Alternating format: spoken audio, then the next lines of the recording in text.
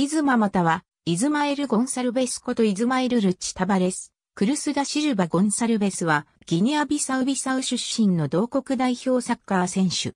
チェンナイン FC 所属。ポジションはフォワード。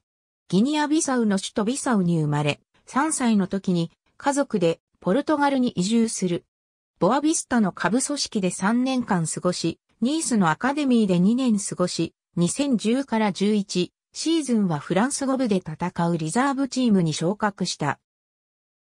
2011年1月にトップチームに昇格し、ボルドー戦に途中出場でデビューを果たした。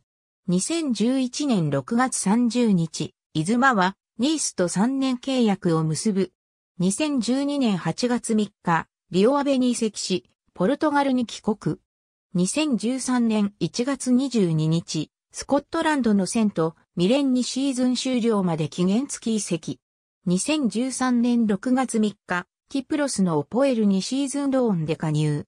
12月31日、双方の合意に基づきローン契約を解消。2014年1月14日、1年ローンでギリシャのベリアに加入。その後、キプロスのアノルトシス・ファマグスタを経て、2017年1月にスコットランドのハートオブミドロシアンに移籍。ハーツでは42試合に出場して15ゴールを記録した。2018年1月、ウズベキスタンのパフタコールタシュケントに移籍。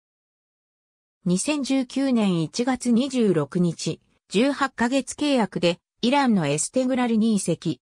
6月1日、双方の合意に基づき契約解消。2019年9月9日、日本の松本山が FC に加入。2020年10月1日、松本山が FC との契約を双方合意のもとで解除、退団した。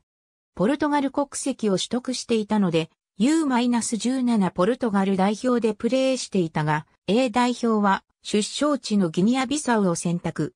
ありがとうございます。